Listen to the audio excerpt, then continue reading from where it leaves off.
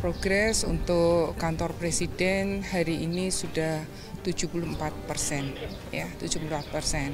Kalau untuk struktur bangunannya sudah, tapi untuk bangunan dengan baja dan bilah-bilahnya ini kita masih menunggu baja yang memang sekarang akan kita lakukan percepatan-percepatan dan bilah-bilahnya pemasangan bilah-bilah saat ini bilah-bilah ini sudah terpasang 1000 282 dari 4.650. Nah, ini kira-kira uh, sepertiganya. Dan kami harapkan nanti untuk sayap ya Guru Garuda ini bisa selesai di akhir Maret ini. Mudah-mudahan nanti di bulan Juni kita bisa fungsikan untuk upacara.